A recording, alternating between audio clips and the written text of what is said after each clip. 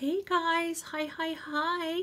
I'm Mischelle, and I just want to take a minute and show you what's going to come in your box of supplies for our Zoom class. I'm so, so excited. Okay, so when you open your box, open it carefully because there's a lot of little things. But what you will have, and I'll have you check off and make sure you've got everything in there. The first thing you'll have is this little workbook. Okay, this will be your little workbook. You'll have a watercolor pad. It's this right here, three by nine. You will have, let's see, I'm going down my list here because I want to make sure I don't miss anything. You'll have your 20 piece watercolor set and 20 pieces includes the tin and I'll show you inside all of this stuff in just a moment.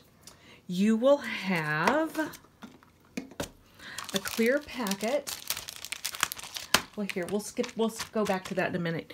You'll have a clear water bottle, and when you fill this, you'll fill it probably to about three-fourths is where I usually do mine.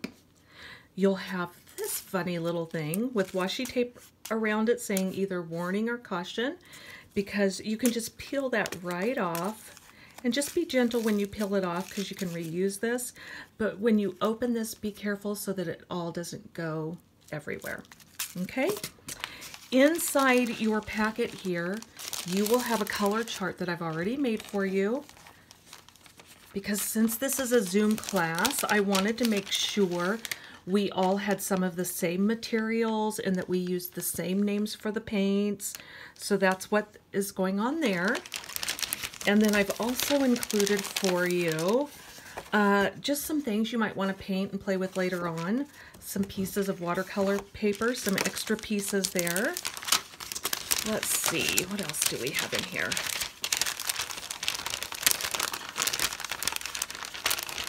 Okay, so we have a skewer that I've cut off and be really careful with this because this is sharp and could yeah, I don't want anybody to get hurt. So be careful with that. We'll use that for mark making. This is a stirrer stick, and we can also use it for mark making. Q-tip, great for mark making. You'll have this really ugly brush. This is just for mixing paint on your palette. You'll have a white china marker. Love this. And these are so much fun to if you wear it down and you need to sharpen it, you just pull this down and then you peel the paper. Now, here's my white china marker at the moment. It got a little crazy, right? This is too much. You don't need to peel it all that way down. But you'll just give the string a little pull and then you'll peel it. It just peels right off. So, and then you, you just want to try and get just that one layer. Still works though. So that's what you'll have here. All of this fun stuff. You'll also have, this is your, what did we call this? This is your scraps swatch. These are all scraps from the watercolor paper when I cut it. And I love to use these to make swatches. And I've put a brad on there on the back of that. So if you want to add to it, all you have to do is punch a hole in it and you can keep adding and keep making swatches. Okay, so let's talk about your watercolor art set. This is awesome. Candy supplied all, she asked me what I needed and she got everything. She's so wonderful. So yes, I told her we needed this so you didn't have to go looking for things. Okay, now mine I have been using to prepare all of the class materials. So this is what mine currently looks like. So to lay flat, that's got to be up, just so you know. So these are all of our little pan paints in here. This is the eraser. It comes in a little case or a little, you know, it's just covered, packaged, and it goes right there. You have a pencil sharpener and your sponge. You have your round brush, and then you've got a flat brush. And yes, my brushes are clean. I've just used them. That one looks like it could be cleaned a little better. Um, I've just been using them. They're, they start out white, I believe it was. and then they just fit right in there. Now this is a charcoal pencil and I wish they hadn't included this in there. Both my daughter and I are watercolorists and neither of us would ever want to use this with our watercolor sets. And here it is. Here's the pencil sharpener with, in it, look at that. It won't even go in. so I would suggest that you just leave this in the package. Um, this is like great for like starting out drawing and stuff like that. So maybe they want you to draw with this and sketch some stuff in, but I'm actually going to put a mechanical pencil in each of your kits so that you can use that. And it's got an eraser on it as well. So this is really messy. So I pulled mine out of my kit and then I took my white and I put it right there because that's how I like it better. And this is a really good sharpener, so keep a hold of that. It's a metal one, and those are really nice. Let's see if I can get it back in there. Might have to do that later. Okay, and this is what they refer to as your palette. Now, I actually use a plate for my palette, and I'll show you that later in one of the videos. Um, you can mix your colors right here, but if you have a plate, that's great.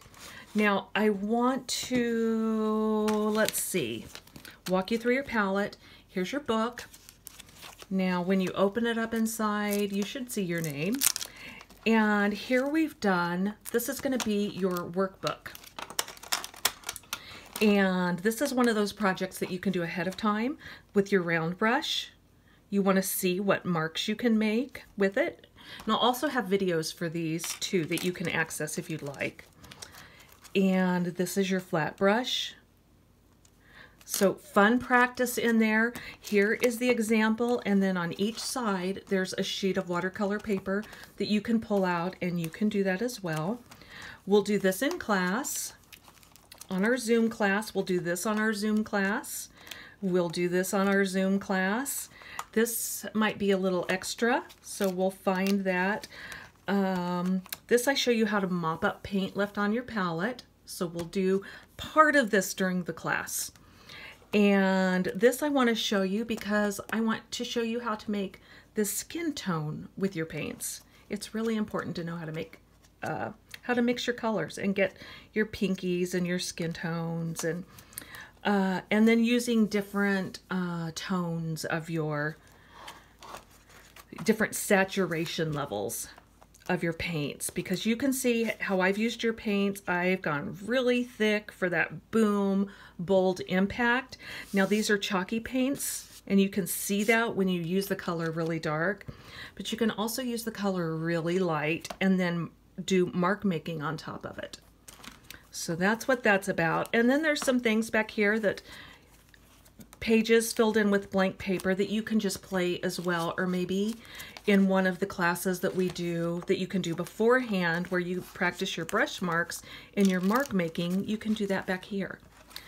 Because you, you might want to practice some of your mark making with these tools and see what kind of marks you get. So that's completely up to you. So uh, if you see a little name tag, well, you will see one with your name on it. This is actually hot pressed paper for watercolor. This is a totally different beast. I actually had painted a swatch and I just used it to make little tags for your uh, palettes. So this paper is watercolor paper, but it will feel very different from the watercolor paper we're using here. Okay, so I think that's it. Uh, this is what's going to come in your packet and I will have email links to you where you can go and watch the videos. I'm so excited and I can't wait to see each of every one of you on Zoom. See you!